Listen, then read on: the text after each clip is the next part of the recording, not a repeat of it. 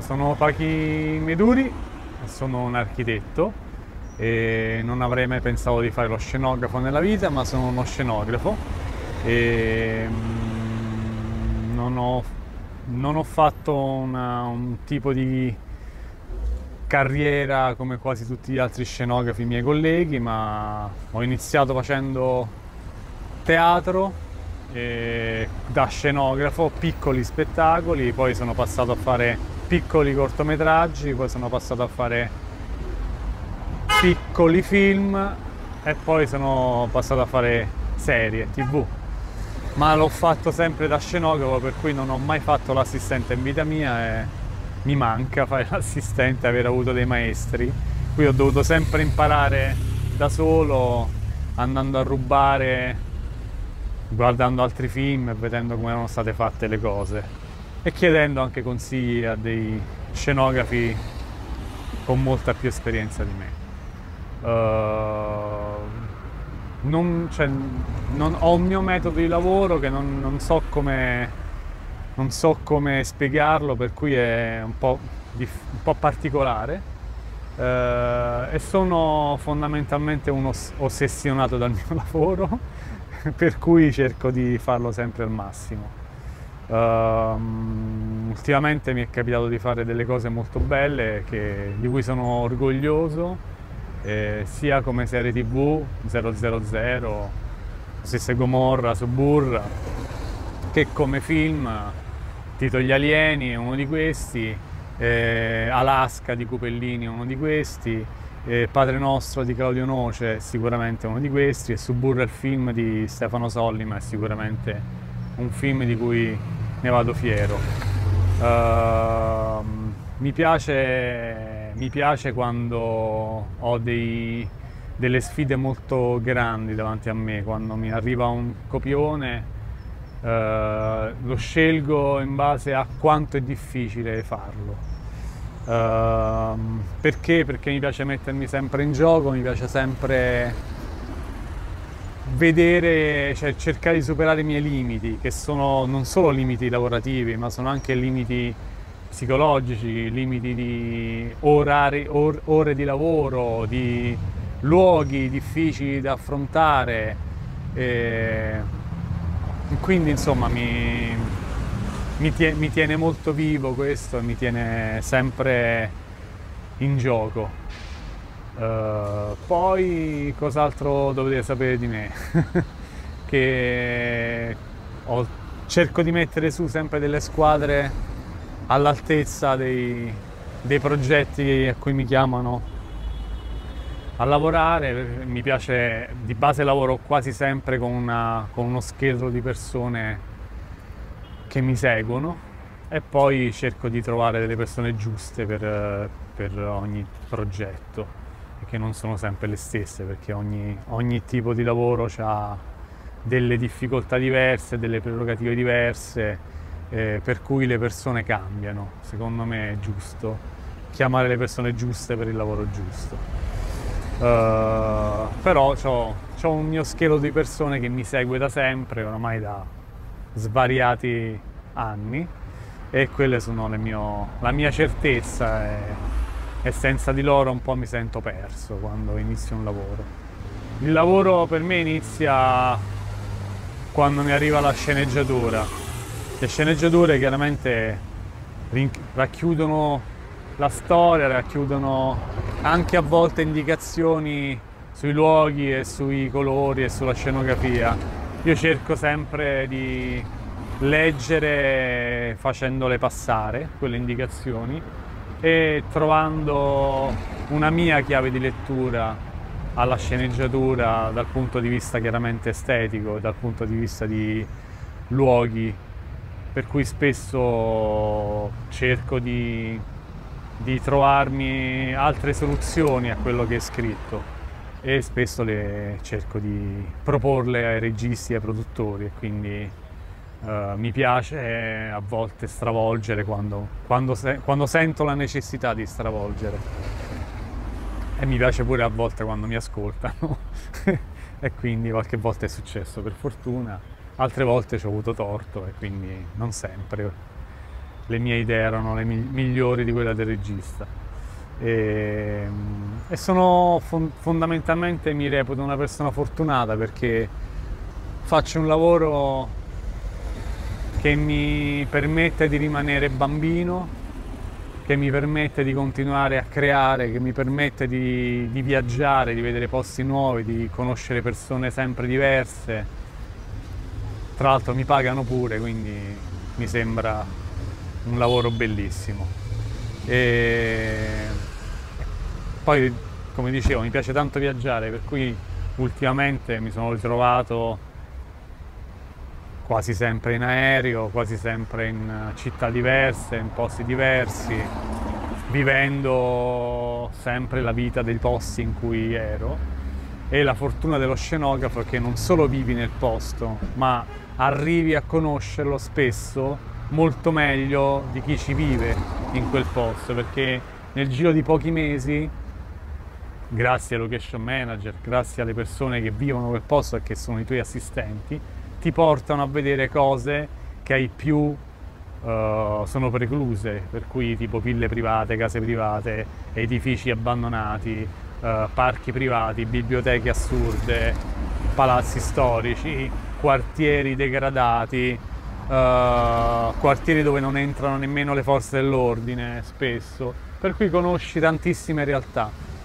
E per un amante della vita, un amante della, dell'umanità come me mi piace tantissimo conoscere la conoscenza e, e quindi sono, sono grato a questo lavoro e sono felice quel giorno quando ho deciso di non fare più l'architetto, di aver cambiato idea. Ecco, non che fare l'architetto sia brutto, ma non faceva per me stare seduto in uno studio a disegnare per 12 ore al giorno anche se poi alla fine si disegnano cose bellissime anche lì. Adesso, in questo momento, so, sono chiuso in un ufficio 10 ore al giorno a disegnare, eh, cose che speriamo verranno costruite da febbraio. E si può dire, tanto sto iniziando la serie di Django, che è una serie western, e, e quindi costruirò primo, i miei primi due villaggi western della mia vita e sono molto emozionato ed entusiasta. E stiamo facendo una ricerca enorme eh, e anche qui sto cercando una chiave di lettura molto difficile perché di western ultimamente se ne, se ne sono stati fatti tanti e non solo ultimamente. E quindi sto cercando di fare qualcosa di mio ma insomma ci riuscirò speriamo. Vediamo e, e poi niente, questo momento, come sapete, è un po' così, un po' tutto sospeso, per cui non sappiamo quando, quanto tireremo avanti in questa progettazione, in questo lavoro, come tutti voi siamo appesi a cose che, no, a cui, che non possiamo controllare in prima persona e questo un po' è è una cosa che mi dispiace perché mi sento totalmente impotente in questa situazione, però dobbiamo assolutamente credere che, che chiaramente sarà ed è soltanto un momento di difficile, un momento di pausa, ma dobbiamo assolutamente ricominciare e continuare a lavorare, continuare anche da casa, continuare a studiare, continuare a ricercare eh, quello che ho fatto durante questo lockdown è stato quello di fermarmi, guardarmi tanti film, vedere le cose che non ho visto, che avevo per colpa di questo lavoro tenuto eh, diciamo in pausa e leggere libri e, e quello è studiare fondamentalmente, arricchirsi per poi avere più più forza e più idee poi dopo quando ti serviranno. Quando, quando mi hanno chiamato per fare 000, eh, chiaramente è stato per me una bellissima eh, attestato di stima e, ed era anche una gran paura per me perché sapevo che sarei dovuto partire per più di un anno e mezzo da casa senza mai tornarci in giro per il mondo. E la mia grande sfida lì era quella di riuscire in, uh, in una serie fatta di formata da cinque paesi diversi e in ogni paese c'erano anche più città diverse, riuscire a trovare una chiave di uniformità, di stile all'interno della, propria, della stessa serie, mantenendo le forti differenze eh, diciamo territoriali eh, di ogni luogo. Uh, lì è stato, un, è stato chiaramente una, una, concertazione tra me, tra i direttori della fotografia e, e tra i registi chiaramente, che sono tre. E, um, per riuscire a mantenere questa, questa uniformità. Penso, di, penso di, che ce l'abbiamo fatta, penso che, che esteticamente la serie sia sia molto interessante perché la scelta delle location è una scelta è stata sempre dettata da, uh, dalla forza e dal carattere del luogo. Abbiamo sempre cercato di, di, di, di prendere, di scegliere location molto, molto d'impatto uh, e che avessero in sé, che racchiudessero in sé l'anima anche del paese che le ospitava.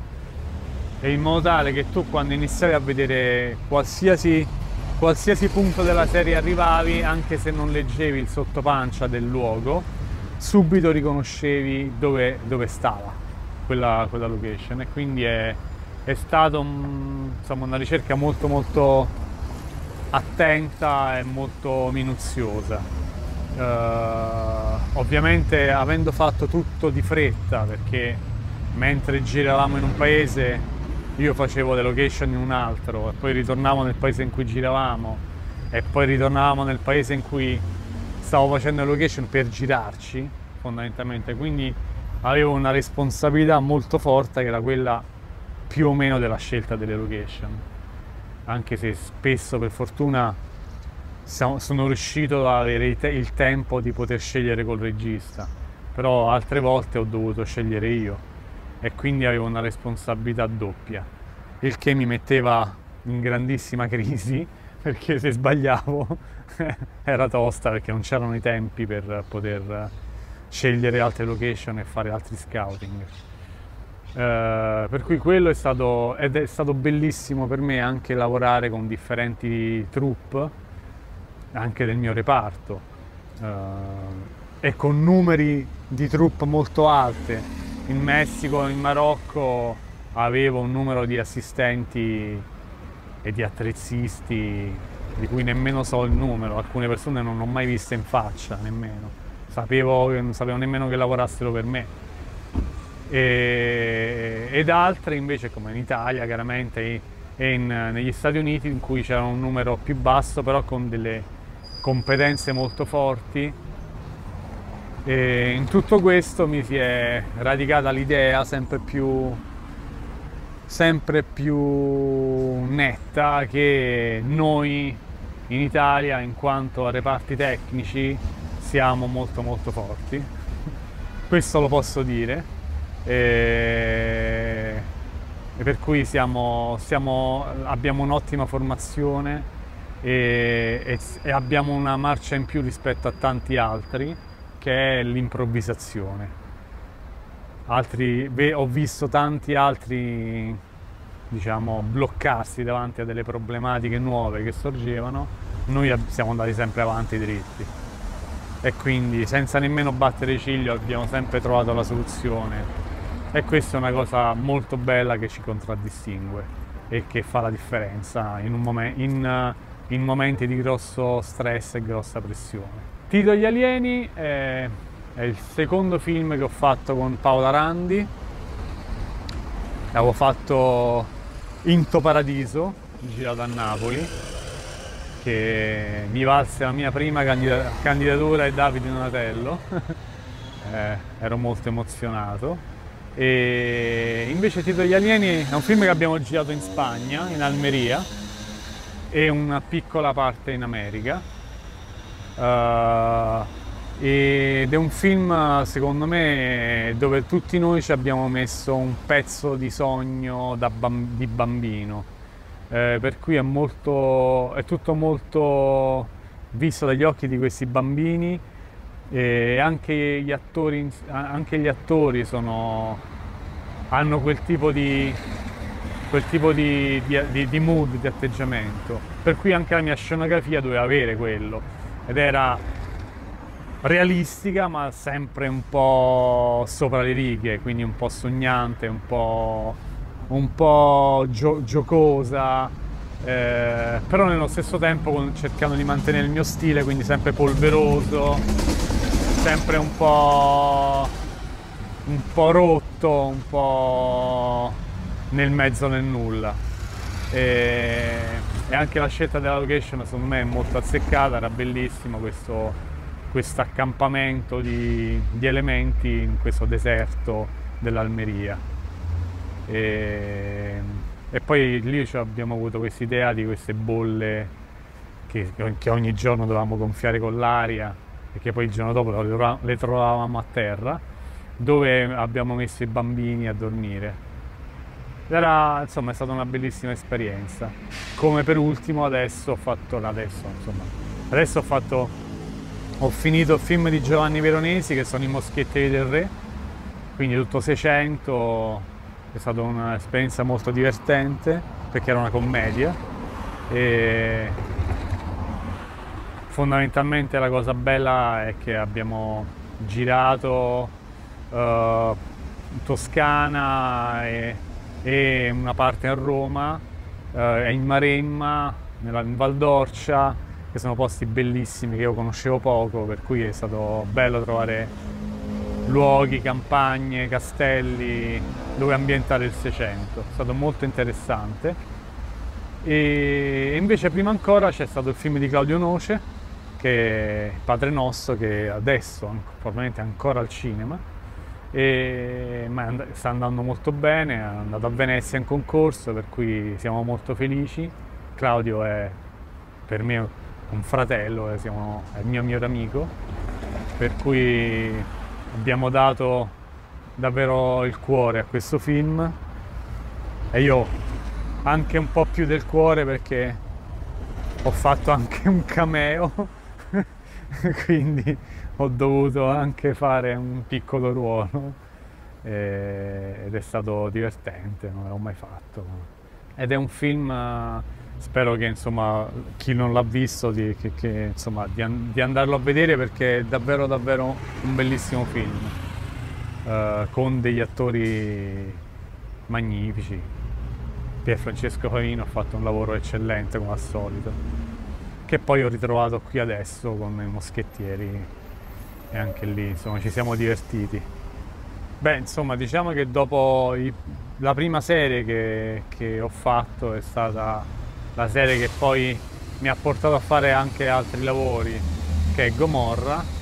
Eh, chiaramente non avrei mai pensato di farla, ma poi ho avuto la fortuna di essere chiamato da Stefano Sollima, eh, che, con cui avevo appena finito di fare un videoclip musicale.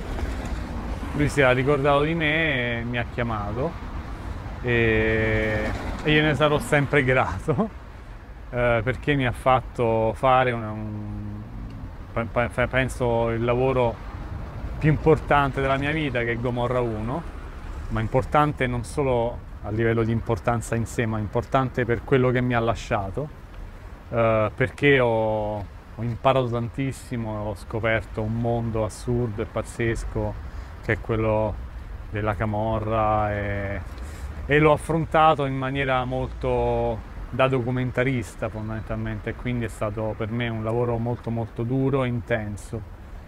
E anche lì ho dovuto creare un mondo che, che fondamentalmente esisteva e non esisteva. E quindi ho diciamo il Gomorra, il Gomorra style è stato inventato guardando, rubando shakerando immagini dal web e, da, e, da, e da, insomma, dal, dall'immaginario e, e, dalla tradizione napoletana, ho messo insieme tante cose e è uscito fuori quel, quella, quello stile che, che, che abbiamo trovato giusto avesse quella serie e per fortuna poi si è rivelato vincente perché è una serie che è stata venduta in 198 paesi del mondo, non pensavo nemmeno che esistessero 198. Quando ce l'hanno detto, quando stavamo girando Gomorra, ci guardavamo in faccia e dicevamo, bah, chissà che cosa stiamo facendo. Non avevamo assolutamente idea di cosa stavamo facendo. E quindi eravamo così, andavamo a braccio, andavamo avanti. Stavamo capendo che stava uscendo fuori qualcosa di molto forte di molto bello, però non, non avevamo l'idea. E, e, quindi però sono molto molto soddisfatto di quello, così come di Suburra, la, la prima, sia il film che la serie, eh, dove abbiamo dovuto toccare dei temi anche lì un po' più delicati perché vivendo a Roma erano più nostri, eh, che sono quelle delle mafie locali, di Ostia, insomma la corruzione del Vaticano, della politica, di una certa mafia locale che, che è molto influente qui. E quindi siamo stati comunque molto attenti a cercare di mantenere uh, insomma, l'asticella sempre alta anche lì sulla, sulla qualità delle, delle immagini e della, e di non essere mai banali e di non ripetersi. La mia paura era quella di ripetermi, ripetere ciò che avevo fatto in Gomorra, su Suburra. Spero di non essere stato così ripetitivo. Ecco. Cercato di, davvero in tutti i modi di farla differente. Vi ringrazio molto e spero che questa, non so quanti sono, 20 minuti, mezz'ora di, di monologo siano stati graditi e per me è stato un onore essere con voi e vi saluto. Ciao!